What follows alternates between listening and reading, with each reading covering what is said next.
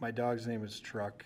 Uh, Truck was a yellow lab, uh, trained in drug detection. Truck had been with the Rexburg Police Department for about eight years.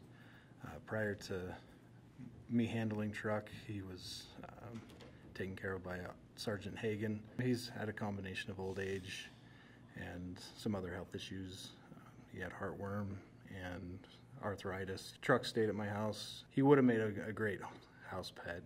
Um, he was very nice, but did his job well. And kids are doing well. They do miss him. It's it's a tough thing.